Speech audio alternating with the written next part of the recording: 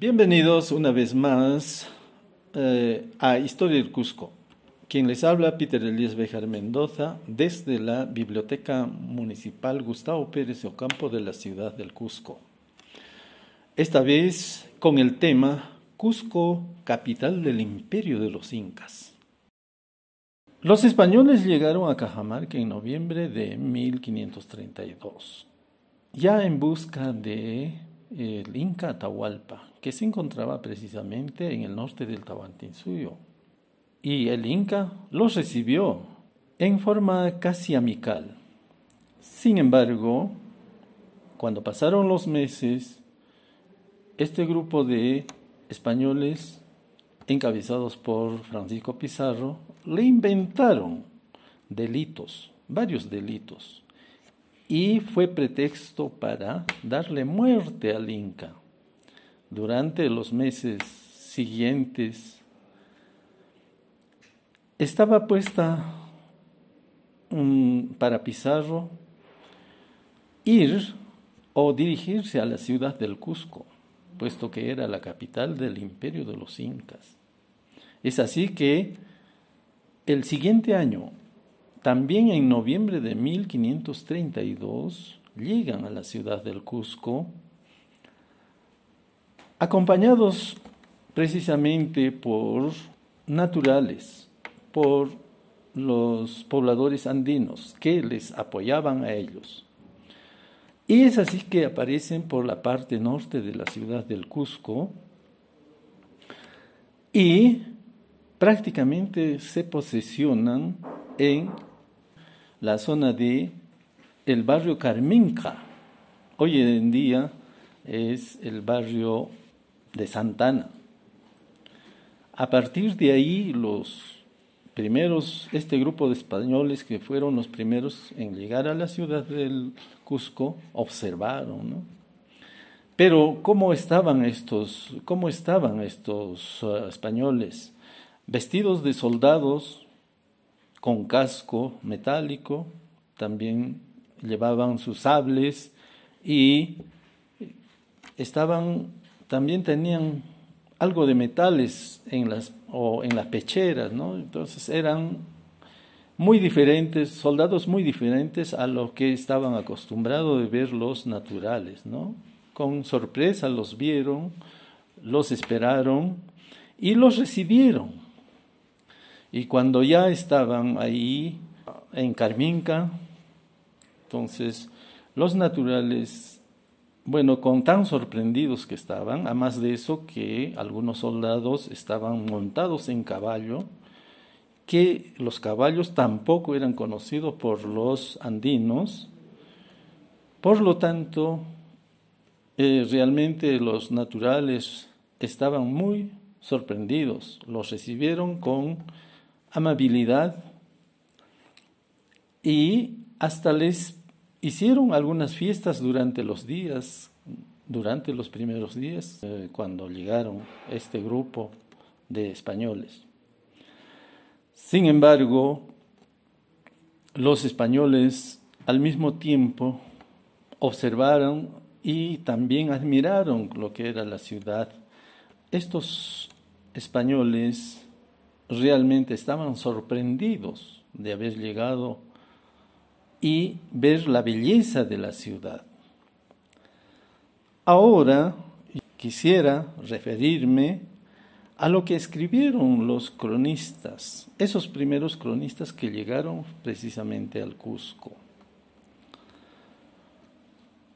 En primer lugar está Pedro Sancho de la Hoz, cuando escribe y se refiere de la ciudad del Cusco, dice, los señores que las ven dicen que ni el puente de Segovia, ni otro de los edificios que hiciera Hércules, ni los romanos, no son tan dignos de ver como esto. La ciudad de Tárraga en España tiene algunas obras, pero no tan fuertes ni de piedras tan grandes.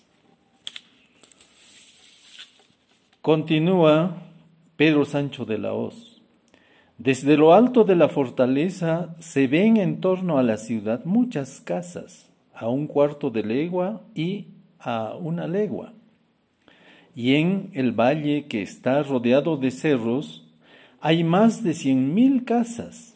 Muchas de estas casas son almacenes, llenas de mantas, lana, armas, metales, herramientas, ropas. Otro cronista, Pedro Pizarro, que es precisamente hermano de Francisco Pizarro, dice, la ciudad del Cusco,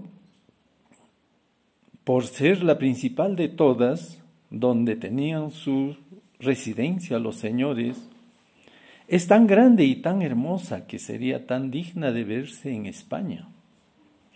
Y toda llena de palacios de señores, porque en ella no vive gente pobre. Y cada señor labra su casa y asimismo todos los caciques. Todas las casas labradas en piedra. Y el mejor de ellas era la casa de Huaynacapac, cacique viejo se refiere a Inca o Enacapac. La puerta de mármol blanco y encarnada y de otros colores muy dignos de verse.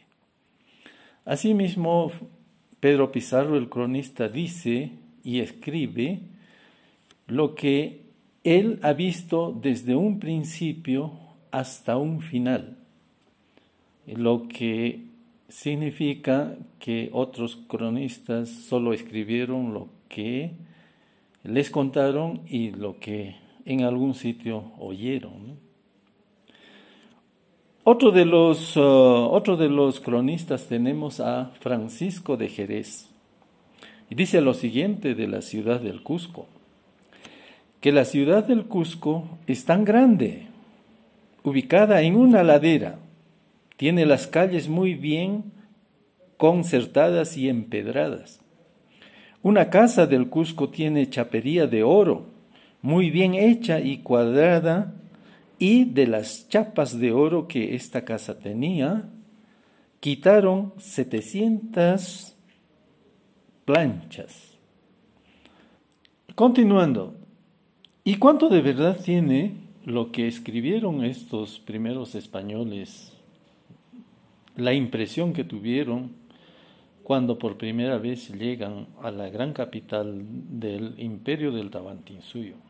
La plaza principal tenía como nombre Jaucaipata y estaba dividido por, en dos por el río Riachuelo Sapi, que discurría de la parte norte del Cusco hacia el sur y uno de los lados precisamente estaba ubicado hacia el lado de la Plaza Cabildo actual y era una zona de cultivo de maíz, habían grandes terrazas y para otros productos de pan llevar.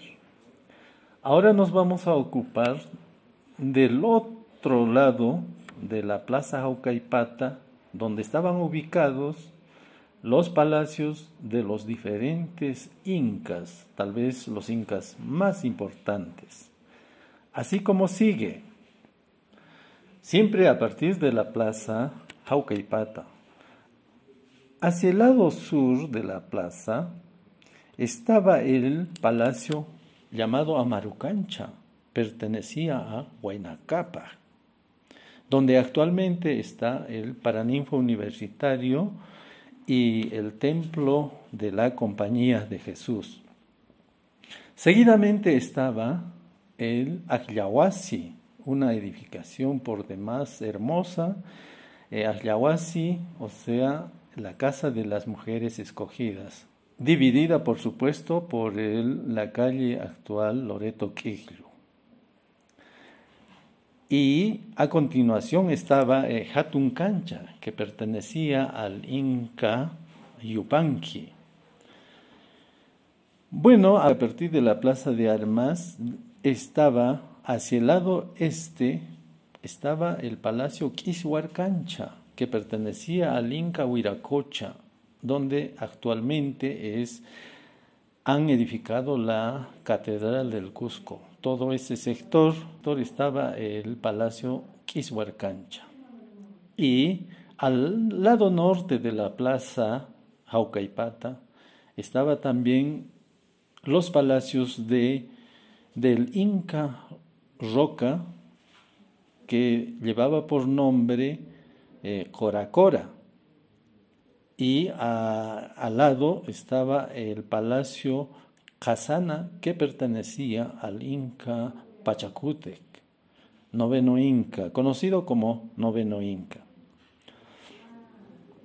Según los cronistas Bernabé, Cobo y Molina, el Cusco también eh, estaba dividido por aylus. Y había trece aylus. Estos aylus incluso tenían o estaban formaban las panacas reales de cada uno de los incas. Tenemos lo siguiente, el Ayllu Colcampata, hoy día es San Cristóbal. O también podemos llamar barrios, ¿no? Entonces, Carminca, hoy día llamado Santana. También el barrio de Tococache, que es eh, San Blas.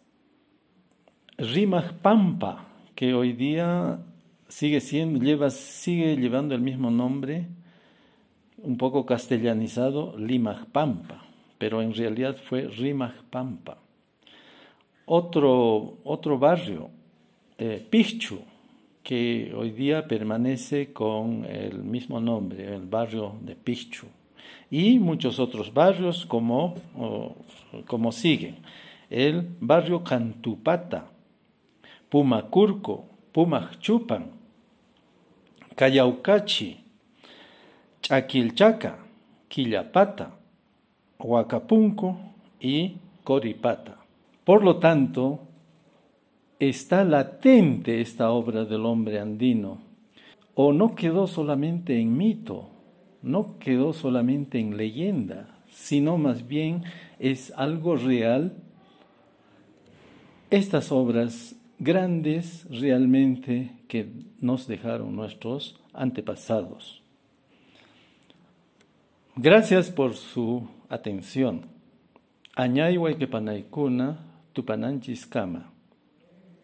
Hasta una próxima.